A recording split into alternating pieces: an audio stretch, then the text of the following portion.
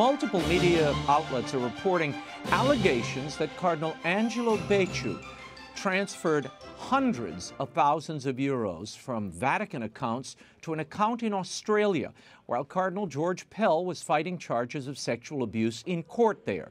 The alleged transfer is part of a dossier of evidence being compiled by Vatican investigators and prosecutors against the cardinal, who was forced to resign as prefect of the Congregation for the Causes of Saints and removed of his cardinalatial rights by the Pope. What do we know about these allegations against Becciu?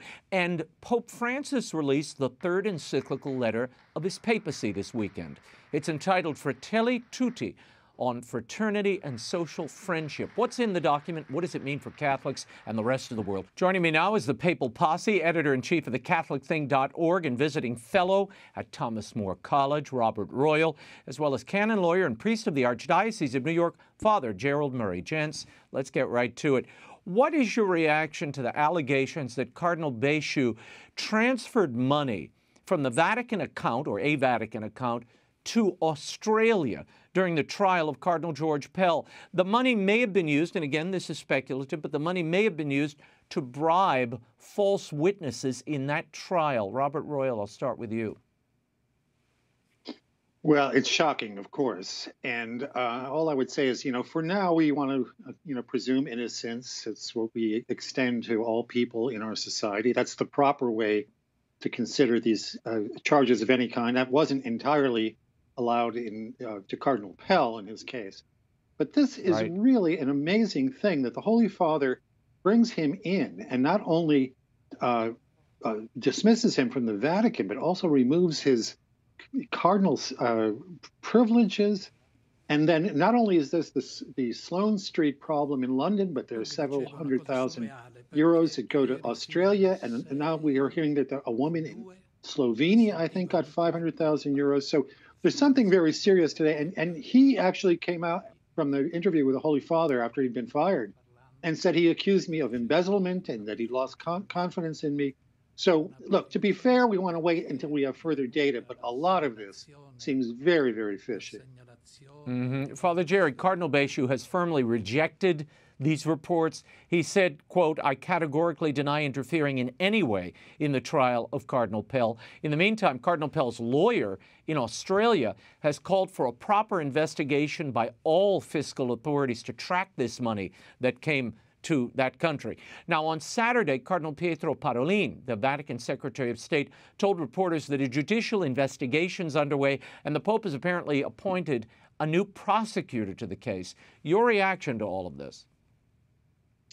Well, this is what needs to be done. There needs to be a judicial process because uh, we have to get to the bottom of what happened. And certainly, I think it's interesting to know that uh, the other day, uh, the nuncio from Australia, in other words, the Vatican nuncio to Australia, was summoned to Rome and met with Pope Francis. So uh, that nuncio was in place when that money was transferred. So I'm sure the question's mm-hmm. being asked what was the purpose of that money? Why was it sent? Now, Cardinal Becciu talking about embezzlement, and uh, there have been lots of reports about what he's done. Uh, all of this needs to be laid out. And I hope this time in this trial, as opposed to what we've seen in other trials uh, at the Vatican, that there'll be a full accounting, that the record of charges and then mm-hmm. convictions, if there are such, will be made known public. Because, you know, in fairness to Becciu, all of these rumors need to be investigated and then the truth established and for the benefit of the people of God. If mm-hmm. this corruption is so deep at the church, we need to know about it and it needs to be extirpated. Yeah. Bob, in a related story on Monday, Pope Francis named Cardinal Kevin Farrell, who's the prefect of the Dicastery for Laity, Family, and Life, as president of what's being called the Commission for Reserved Matters. Now, this commission is to monitor internal Vatican financial decisions which fall outside of the new accountability norms. What do you know about this commission, and what do you make of it appointing Cardinal Farrell as its president? Well, of course, those of us in the United States remember Cardinal Farrell uh, in connection with Cardinal McCarrick.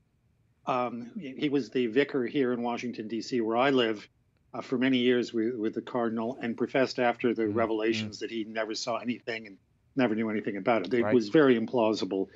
and you know, we a lot of us maybe feel a little bit of distrust of him, the, to, to, say the least. But uh, you know, I'm not a lawyer, but I look at the four or five categories that this Commission for Reserved Matters is supposed to to um, have jurisdiction over, and you know, some of them seem to me to be unobjectionable. You know, where there's a pontifical secret. In other words, you need to have discretion for the Holy Father to be able to operate. But then mm-hmm. it starts mm-hmm. to move out into elements like uh, international contracts, international agreements. And then there's this huge category of anything else that the, the Church or the Vatican needs in order to operate effectively, uh, you know, and, and it can continue to, uh, to exist. I think any lawyer, or any, even any clever uh, speaker, could drive a truck through that last category. So I don't really know what this is intended to do. It seems to me that mm-hmm. um, the transparency in some other areas has been an improvement. I don't know whether this is or not. And I think the only way we'll be able to tell is the proof will be in the pudding in what it actually does. Yeah. Father Jerry, I want to turn to this new encyclical, uh, Brothers All, Fratelli Tutti, which uh, Pope Francis signed on the feast of St. Francis of Assisi. It concerns, concerns rather fraternity and social friendship. Uh, we're going to get and delve into very particular parts of this. I have some excerpts laid out. But uh, if you had to describe this encyclical in toto, how would you describe it, Father Jerry? Well, it's a very long encyclical, and it's largely centered on uh, developing good relations between nations and peoples. And it highlights uh, economic and military uh, arrangements as being key to that. And it mm-hmm. introduces, uh, I think, a utopian view of how you solve the migration crisis, of how you solve uh, what's described as economic inequality. Uh, and I think this document uh, is a little short on uh, Christian perspective and very long on what I would say is a globalist United Nations view which is that human problems can be managed if we get the right laws in place.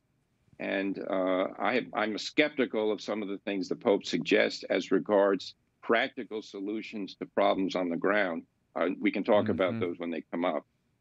Yeah, yeah. Robert, you wrote that that Pope Francis here is appealing um, to a reformed humanism, a Christian humanism. D- does this encyclical achieve? that goal? Does it, does it uh, capture this new Christian humanism that he's calling us to? Well, this is an odd uh, subject for I think for him to uh, address. It's an oddity for a pope to be writing out, sort of outside of Catholicism. And in fact, there was a Spanish cardinal who last week, before the encyclical even came out, defended it and said, by the way, this is not going to be utopianism. This is not going to be uh, religious indifferentism and universalism and one world government and whatnot. Well, mm-hmm. when you actually read the text, there's a reason why I think he was sent out there to deny that these things are going to happen because a lot of what you see there starts to tend in that kind of direction. And it mm-hmm. starts out uh, oddly, uh, Italian friends have actually sent me notes about this. It starts out by making it appear as if as if Saint Francis of Assisi went to the mm-hmm. mid, Middle East to speak with the Sultan Mehmet II and to be submissive and not to be there evangelizing. And some of my Italian friends have been passing around a, a kind of a commentary saying that at first they thought there was some, this was something like the Babylon Bee, that it was actually a spoof of what a pope would, would, would say.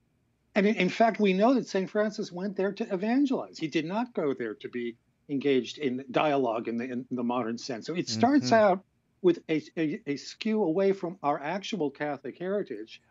And there yeah, we should say many, it, it opens. Points. It opens with Saint Francis going to the Sultan uh, d- during the Crusades, and his mission was to convert the Muslims. That was his mission. That is right. omitted from the top of this encyclical. And you're right; it the, kind the, of the, lays yeah, out a groundwork for dialogue look, we all want better relations in the world. We, insofar as through dialogue we can reduce tensions, et cetera, that's all to the good. But there's only so much that can be done via dialogue. I, I, I was reading the encyclical about ISIS when ISIS had this huge caliphate that it was beginning to develop.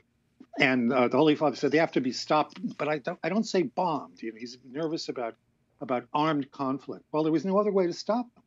So anyway, what, aside from the particulars, I think that what we have here is, you know, a sincere and ambitious effort to, to, to try to reduce tensions in the world and promote a, a certain civic friendship, as he calls it. Mm. But um, whether he achieves that or not, I think we're going to be debating that for a while. Okay. I only have 10 minutes. I want to go through some of the paragraphs here in the encyclical, get your thoughts. In the section entitled The End of Historical Consciousness, paragraph 14, Francis writes about the new forms of cultural colonization. He writes, Nowadays, what do certain words like democracy, freedom, justice, or unity really mean? They've been bent and shaped to serve as tools of domination, as meaningless tags that can be used to justify any action. Father Jerry, what do you make of that paragraph and its portrayal of democracy and freedom? Well, if you want to apply it to China, you know, the People's Republic of China, there the word republic has uh, been twisted because it's a Communist Party dictatorship. Uh, in the free world, United States and uh, Western Europe and, and countries throughout the world where, where legitimate elections take place, democracy is actually the expression of the will of the people. So I, I see that being twisted precisely in the in the communist world and, and associated places. Uh, the manipulation of language is not really the main problem in the Western world. Uh, you know, the, that manipulation of language is actually occurring largely on the left in order to try to cow the Western world into rejecting uh, its heritage. For instance, with the word democracy, you know, democracy is inconvenient for leftist dictators because the people reject leftism whenever they get the chance.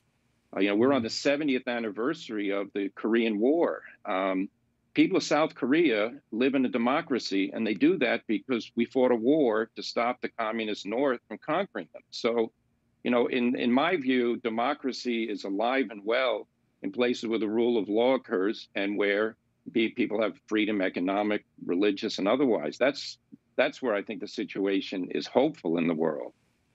Mm. Bob, Bob, I want to contrast something Pope Francis writes in paragraph 120 of this new encyclical regarding property. Um, he writes in the document here the Christian tradition has never recognized the right to private property as absolute or inviolable and has stressed the social purpose of all forms of private property. The right to private property can only be considered a secondary natural right. Now, here's what Pope Leo XIII had to say of the same matter. It is clear that the main tenet of socialism, community goods, must be utterly rejected, since it only injures those whom it would seem meant to benefit, is directly contrary to the natural rights of mankind and would introduce confusion and disorder into the commonweal. The first and most fundamental principle must be the inviolability of private property. That's Rerum Novarum, uh, the encyclical of Pope Leo XIII. Uh, Robert, uh, what is Pope Francis doing here? Is this a reversal of church social teaching? Well, as I wrote in my column the other day, I, I think that this uh, encyclical suffers almost everywhere from vagueness and utopianism. And what is good in it gets buried beneath that because you start to think about other things that perhaps he has in mind, maybe, maybe he doesn't look, it, it's true that nobody has an absolute right to, to, property in the sense that if your your brother or sister is starving, you you don't have any obligation to help them. That is primarily Leo the Thirteenth would recognize that as much. But this this appears to be much more radical. In fact, I'm going to just read you one sentence that I, I was so struck by it. I, I wrote it down. Mm-hmm. It says, seen from the standpoint not only of the legitimacy of private property, and the rights of its citizens, but also from the first principle of the common destination of goods. Now, listen to this. We can then say that each country also belongs to the foreigner, inasmuch as a territory's goods must not be denied to needy persons coming from elsewhere. Now, you know, there's a way that I could say that, that every country has, an, uh, has a responsibility insofar as it can to help people in other places. But this it almost looks as if he's saying everybody has a right to, to whatever is in your country. This sort of incautious language and and what I think is an overhyping and an over worry about private property. I don't really see that in most countries in the world, the United States and elsewhere, private private property is so sacrosanct that um, charitable needs are not being met. Um, you know, it, there, there has been some talk that he's said that people in, in Argentina shouldn't take this personally. Maybe it refers to something he's experienced in Argentina, but I don't think as a general principle, what he's putting out there hmm. is particularly well focused. Mm.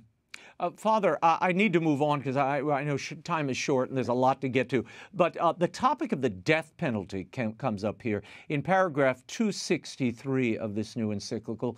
Uh, Pope Francis writes St. John Paul II stated clearly and firmly that the death penalty is inadequate from a moral standpoint and no longer necessary from that of penal justice. There can be no stepping back from this position. Today, we state clearly that the death penalty is inadmissible, and the Church is firmly committed to calling for its abolition worldwide. Now, he goes on in the following uh, section uh, to talk about life imprisonment. And he says all Christians and people of goodwill are today called to work not only for the abolition of the death penalty, legal and illegal, in all its forms, but also to work for the improvement of prison conditions out of respect for the human dignity of the person deprived of their freedom. I would link this to life imprisonment. A life sentence is a secret death penalty. What do you make of that, Father Jerry? A secret death penalty, life imprisonment. Well, it certainly is not a secret uh, death penalty because the person's still alive. Uh, that's the whole problem. I guess he's saying that they shouldn't be put in jail for so long until the day of their death.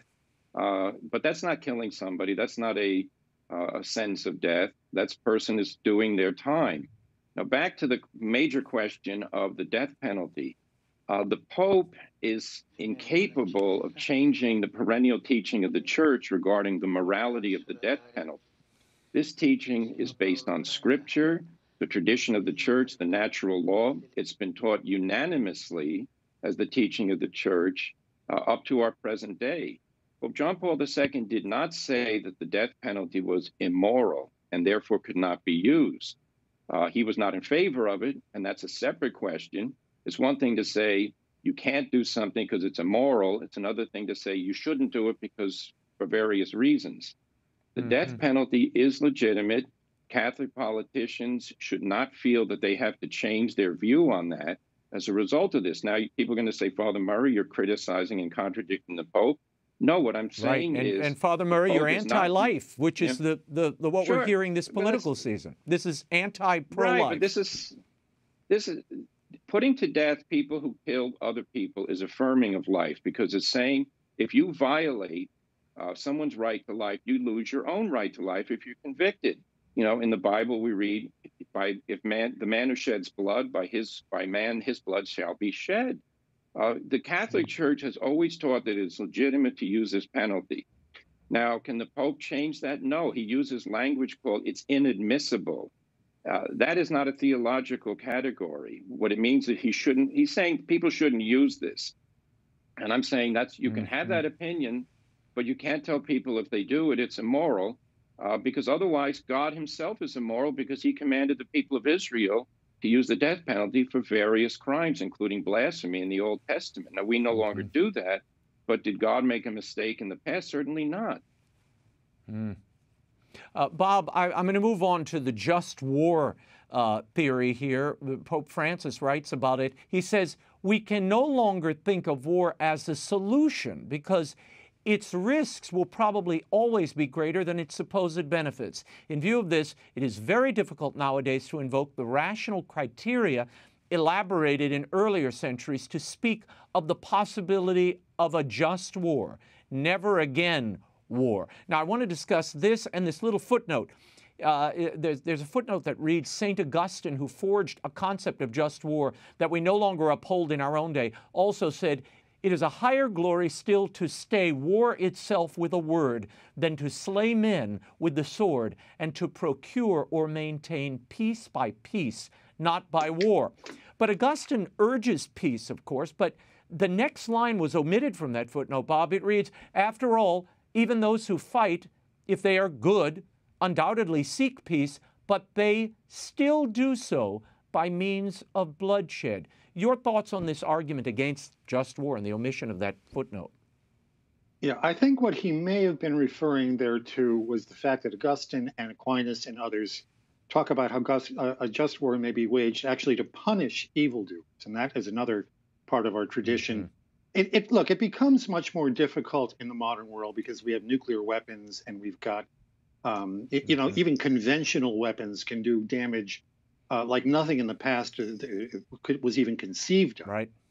But what he says uh, in, in this regard, in this general regard, is that you could actually say that there is a piecemeal third world war going on right now. And I, in, in the column I wrote the other day, I question this because he said this more than once, and I don't really know what he's speaking about. Is he talking about you know conflicts in the Middle East? Is he talking about the the you know dozen or two dozen wars that are always going on over around the world for one reason or another?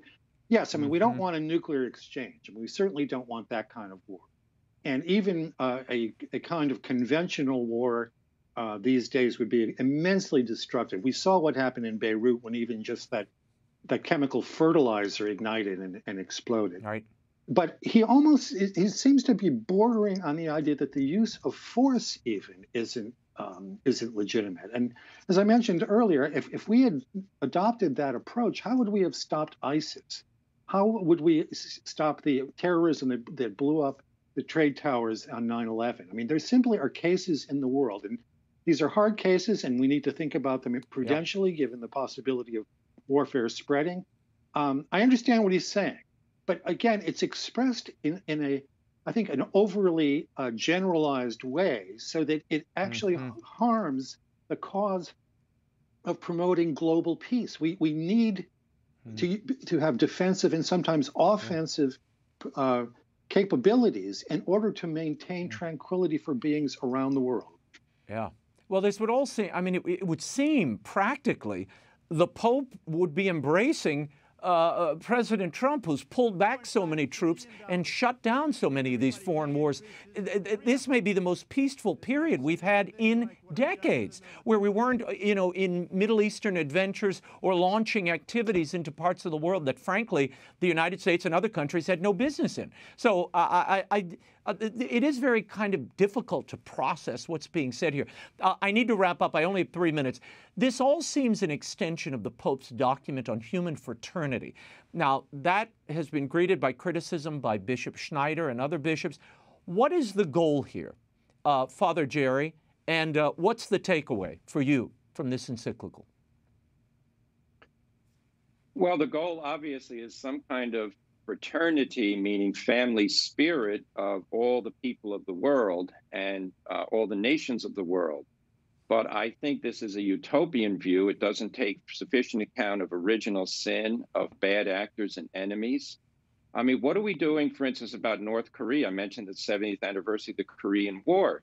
North Korea is a military dictatorship that is uh, developing offensive weapons all the time, threatening its neighbors. They recently murdered someone uh, and the, the leader had to apologize afterwards. Uh, hmm. we have ISIS is still around. We have the people in Africa, the different groups that are you know causing havoc in Western and, and Eastern Africa. Uh, fraternity for the Christian is based on the social kingship of Christ, where we recognize Jesus Christ, the incarnate Son of God, as the Savior of the world, and He's the Prince of Peace. But that comes when we submit ourselves to His law.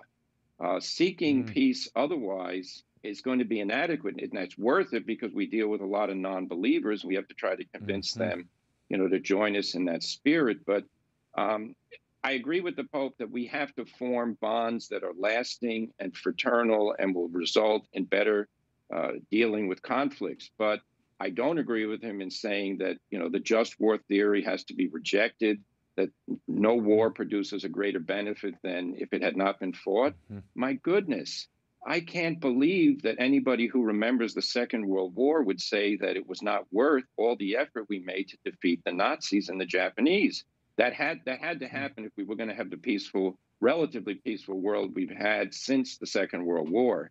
So uh, mm-hmm. uh, let's put it this way: the Pope has a different point of view about uh, the role of superpowers and the role of the United States and its allies.